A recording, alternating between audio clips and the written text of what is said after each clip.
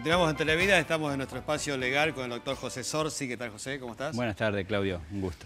Igualmente. Bueno, vamos a hablar de discriminación, algo que es casi tan antiguo como el mundo, ¿no? Y, que yo creo que es propio del ser humano que nunca termina de aprender. Y esta cuestión de discriminar permanentemente, o en muchos casos, no ya vamos a, a describir, pero tratemos de empezar definiendo qué es la discriminación para ver si lo podemos entender un poco mejor, porque quizás mucha gente que nos está viendo de alguna manera lo hace y no lo sabe. Es así, Claudio. Eh, creo que, mm, buena pregunta esta, pero creo que la Argentina, eh, desde, el origen somos discriminadores. Eh, creo que todos de una u otra forma tenemos que pedir disculpa a alguien.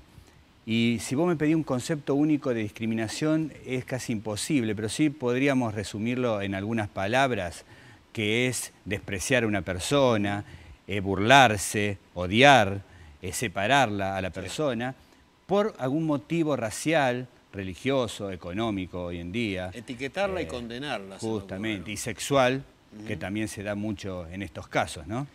¿Cuáles son los motivos por el cual más se discrimina? Esa también, fíjate, una pregunta para análisis. Eh, en realidad, en la realidad se discrimina más por la cuestión socioeconómica. ¿Viste? Se dice por el barrio donde vive uno, o el grupo social al cual pertenece pero en la práctica se denuncia más la discriminación por la discapacidad de las personas. Sí. Pero de igual manera eh, tiene un rango importante la discriminación sexual y la ideológica. La sexual, ya lo sabemos, falta de información en la gente. Eh, hay algunos lugares que, que discriminan a mujeres y en el otro por eh, la situación de orientación sexual. A pesar, Claudio, que tenemos leyes que son claras, que dice que tenemos que respetar el derecho de las personas a que se sientan o se perciban como lo sienten sexualmente. Pero no queda claro, nadie parece comprender esa. O sea, por ahí se piensa que se ha avanzado, pero sigue habiendo casos de discriminación. Siempre hay, ¿viste? es una cuestión cultural. Y en lo ideológico, bueno, es la famosa grieta macrista y kirchnerista. Basta que te tilden de alguno de esos bandos para que tu opinión ya parece que no vale. Donde tiene mucho que ver la discriminación, esto de pensar que cierta gente no tiene por qué tener derecho a lo que deberíamos tener derecho todos, ¿no? a la igualdad. Creo que lo contrario de la discriminación es la igualdad de alguna manera. Parece que, bueno, sí, son conceptos humanos básicos. En la Argentina tenemos legislación abundante de este tema pero lo que hace falta es empezar a cumplirla. Y para este tema lo que hace falta también es empatía. Desde vamos que la discriminación está prohibida. Eh, las leyes establecen desde multas hasta clausuras de locales. Inclusive en algunos delitos del Código Penal se aumentan las penas cuando el agresor obra teniendo sentimientos discriminatorios cuando comete el hecho. claro. Y, y tenés... Eh, cuál es el órgano quizás de la... De la sí, sí, vamos a ver un poquito cómo, qué es lo que dice la ley, qué es lo que se hace al respecto. ¿no? Mira, uno cuando eh, temas discriminatorios tenemos un órgano principal que lo va a tomar, que él es el INADI. Yo lo he escuchado mucho en este último momento. El INADI es una institución que tiene como principal misión es el cambio cultural, que es lo que vos te referís, el cambio cultural. Hay que cambiar la forma de, de comportarse de la gente. Por eso que la sanción es un medio, digamos, posterior. El INADI trata de buscar al agresor y que cambie su actitud y reconciliar. Uno me dice a veces, ¿y este, esto es discriminatorio o no el comportamiento de esta persona? Bueno, justamente, el INADI tiene un cuerpo de asesores que cuando uno no está seguro si el acto es discriminatorio o no, lo consulta al INADI y tiene facultades para dictaminar si la conducta fue o no discriminatoria, ¿no? O sea, se busca primero conciliar conciliar. Si la actitud del discriminador, digamos, es reiterada, es persistente, bueno, ahí habrá, habrá alguna pena. La idea es que cambien. La gente es entender, la gente tiene que entender, todos nosotros, porque de una u otra manera siempre parece que discriminamos a alguien, entender que ese hecho o ese comportamiento que tenés molesta al otro, afecta su derecho y poder cambiar.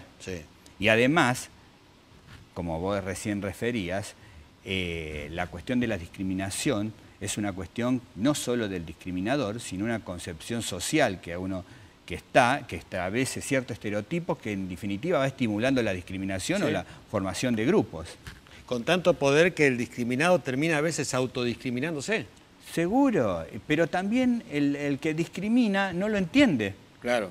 No lo entiende, a veces no entiende que está discriminando. Por eso sería la función principal que lo que hay que hacer es denunciar estos hechos.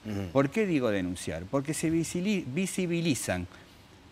Hay una discusión entre amigos, profesores, eh, jefes, tratar ese tema, pero vuelvo a lo mismo. No solamente asistiendo a la víctima, que está muy bueno hacerlo, sino también acompañando al agresor para que pueda comprender que su comportamiento es discriminatorio, esa motivación que tiene, y que hace mal al otro.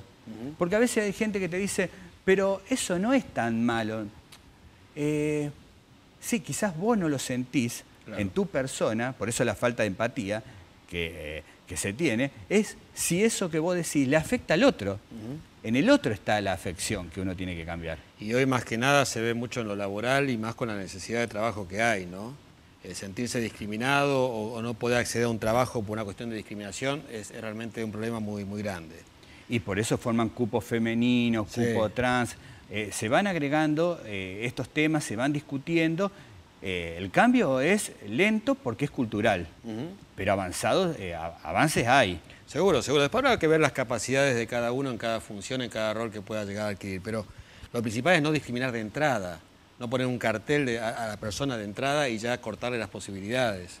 Por eso es necesario que los grupos estén manejados con líderes, pero líderes en serio, que tengan esa concepción de acercar y arreglar el tema. La ley de alguna manera entonces protege al discriminado y en caso de que ocurra esto puede concurrir a, o a Ninadi o, puede hacer una consulta a un abogado. Seguro porque Ninadi, bueno, uno tiene que formular la denuncia, por ahí necesita un asesoramiento para encaminarlo, pero tiene un formulario en Ninadi que uno lo, lo llena y puede tener la respuesta. Bien. Bueno, bárbaro, este, José, vamos a contarles a la gente dónde pueden comunicarse para aquellos que quieran saber un poco más. El teléfono de siempre, 341-5-598505, Claudio. Bueno, José, muchas gracias.